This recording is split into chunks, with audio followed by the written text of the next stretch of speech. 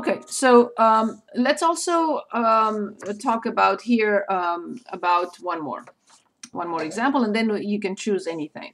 So let's say we have the square root of 4x squared minus 3x, and we're asked to find the derivative. What is the rule that we need to apply now? And you can say two rules, and I agree. One of them, yes. So say it again. Power rule. There is no power here. Let me give you an example of a power.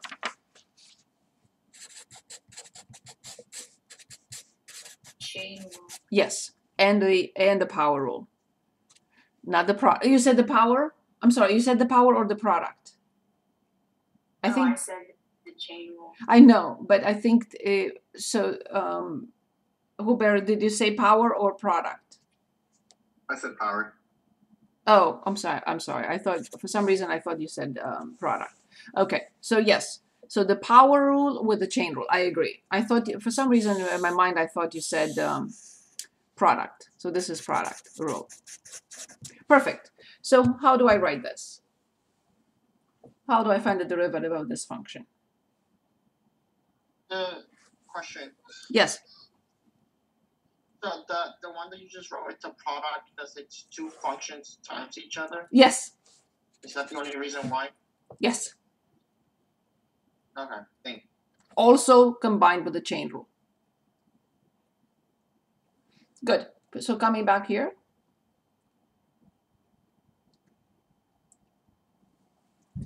Can anyone help with this one?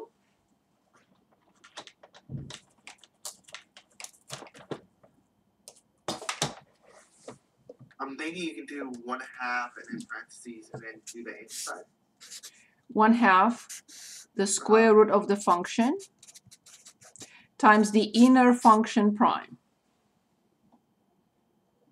Which would be 8x minus 3. That's it. That's all you have to do. There is nothing else to it. Good. Anything else? What else would you like to continue with? So basically, we discussed this. If a function is continuous, it doesn't have to be differentiable. If it is differentiable, it will have to be continuous. Right?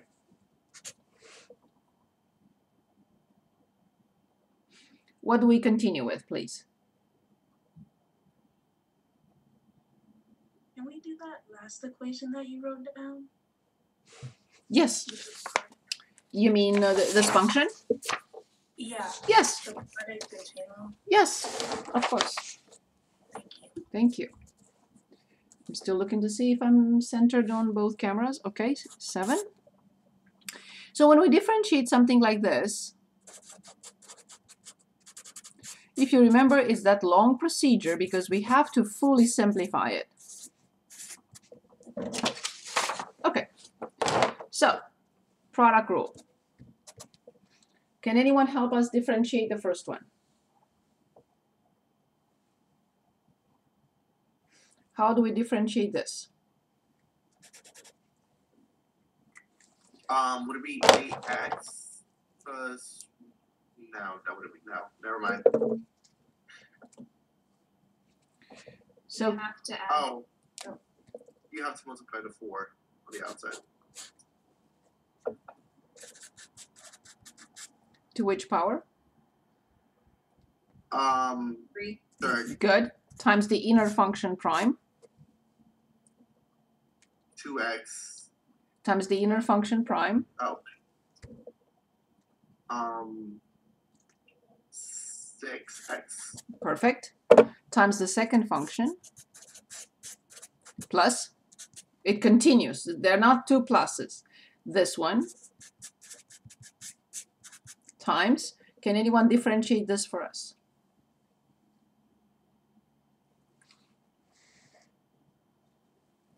Two times the inner function. to which power? Yes to power 1 yes 2 minus 1 is 1 excellent. Great job. Good. Now i have no choice but continue. But i can continue before i rearrange and clean it up.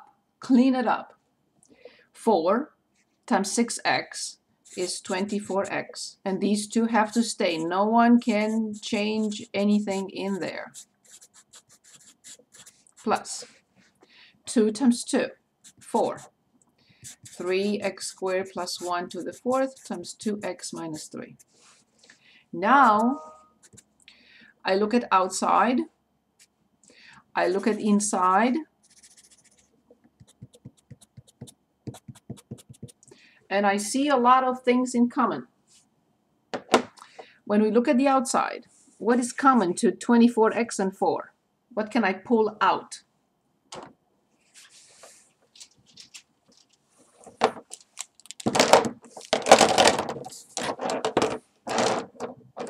You pull out, you pull out a four.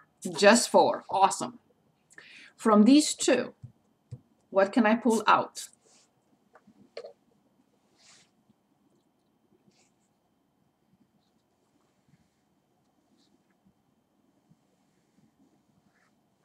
Three x squared plus one. And the power? Um, I'm seeing Three. rate The smallest of the two. From these two, what can I pull out? two x minus three. To the which first power? Yes, the smallest of the two. And now careful, careful, careful. Okay, so let's see what we have inside. 24x, I pulled out the 4. So what is left inside? Six. 6x. Awesome. From these three, I pulled everything out. From these two, I pulled one out. So how many are left inside?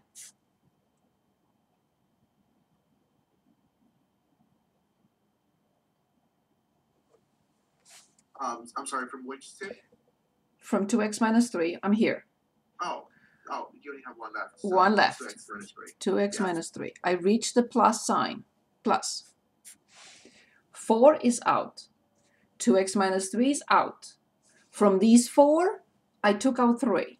So what is left? Just one. Yes, just one, which is 3x squared plus 1. There is no need to put parentheses. Almost done, but I have to perform these operations and simplify. So then, equals 4, 3x squared plus 1 cubed, 2x minus 3. 6x times 2x is 12x squared plus 3, 15x squared. 6x times negative 3 negative 18x and plus 1.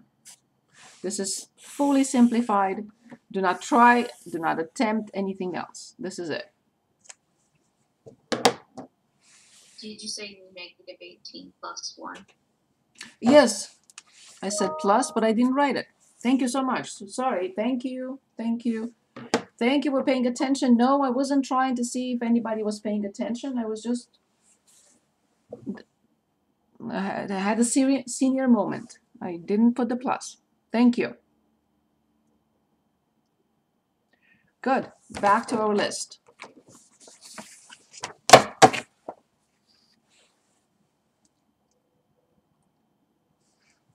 We know how to read limits from graphs, right? Yes, ma'am. Okay. If, if anybody says no, we can choose a problem. Um, let's look at a domain, just for quick. So we have different functions, right? All functions are, I mean, shouldn't say all, but many, many situations. Here's an example. So let's say if I have f of x, the square root of x minus 1, and um, x minus 4. I'm asked to find domain. That's all I'm asked to find, nothing else. So what are the p- possible problems here? What can go wrong? X can equal four. Yes, x cannot equal 4. What else can go wrong?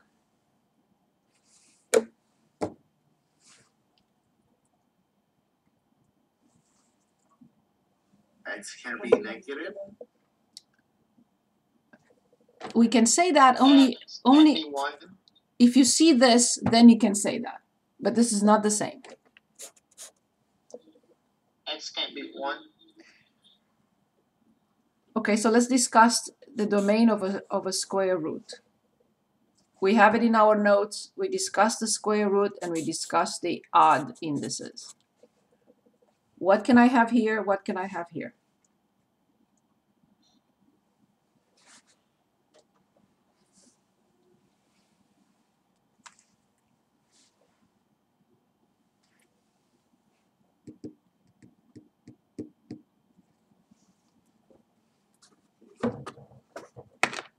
What can we have here? What can we have here?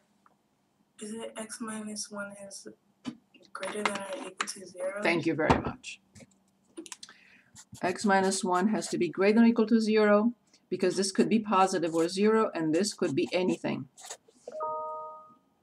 So every time we see a square root, the quantity under the square root, not x, not 1, not 5, not 10, the quantity under the square root has to be greater or equal to 0, except if I have this. I can no longer set it equal to 0, so I have to write just this. So in this situation, I cannot have the equal symbol because the quantity, which is the square of x minus 1, is in the denominator. But here, it's in the numerator. So first I solve this inequality, x greater equal to 1, and then x not equal 4. How will I find the domain here? Go to the real line, greater than or equal to 1. I don't need any measurement units, I mean any units here, but not 4. How do I write the domain for this function? Uh, Professor, real quick. Um, when we were when at the beginning when we said x can't be negative, I think um, uh, what I'm thinking is it, can be negative, but it just can't make it equal to zero or something. I'm just confused. So the question is about the square root. Right. So it can't. The you can't the square root of a negative number, right? Correct. So, That's why we have to state that x minus 1 has to be greater than or equal to 0. okay. Because it cannot be negative.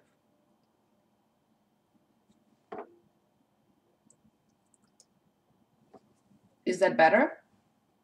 Yeah. I'm just overthinking it. That's okay. It's very important to go back to our notes, our class notes. Browse them. It's very important before the test. Okay, so how do I write the domain? Would it be um open parentheses negative infinity two one one um oh give me a second. Would it be negative infinity up to four close parentheses and then four to infinity? Do I have anything here? Do you see anything here? Wherever that bracket is, was it one point something? It has to be 1. It's a bracket.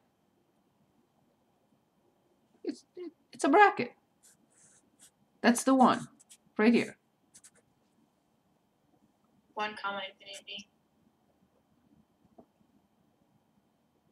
Oh, 1 comma 4 parenthesis union 4. Excellent. Great. Great job. Good. Why can it be less than 1? it'll make it become negative. Oh, yeah, I see it. It's a oh. different condition. It has nothing to do with the radical. So that's why I said what can go wrong. Four in here, it's a it's a tragedy because four minus four that it's makes zero. You can't zero. That yeah. makes makes the function undefined. So these are two different oh. conditions. One condition is for the denominator, another condition is for the numerator because it has a radical. They are two separate conditions. Okay, thank you. Perfect. Anything else? Okay. So that was an example with domain. Um, what about equilibrium point? Are we okay with the equilibrium point, given the demand and supply?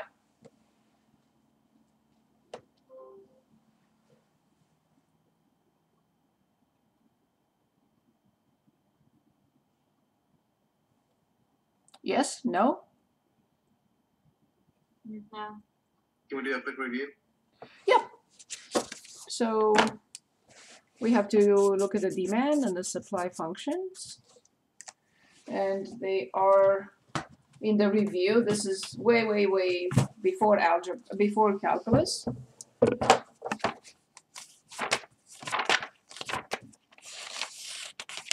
Okay. I need to pick an example, or you can pick an example. Hmm. Yes. So we have the demand equals x minus 8 squared for x between 0 and 8 and then x squared plus x plus 13.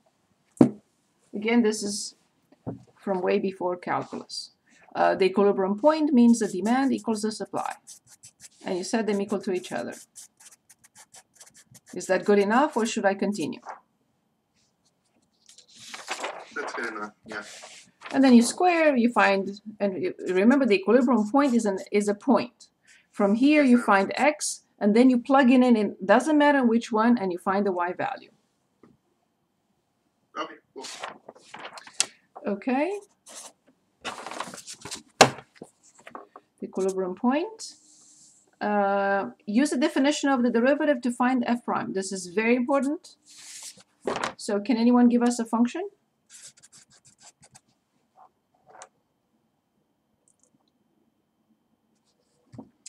Negative 3x squared plus 4x. How do I find the derivative using the definition of the derivative.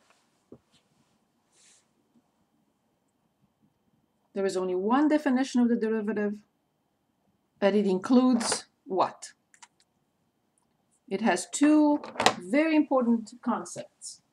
That F prime of x is equal to limit of as x approaches zero. Uh, I, I know you meant h approaches zero, yes? um, f plus f of x plus h minus f of x over h. Brilliant, that's it. This is the only definition we have of the derivative. And yes, it's cumbersome, but yes, we have to use it at least once. What do I have and what I don't have? Well, obviously I have this. It's right here. And this I cannot do anything to it. Now, which piece I do not have?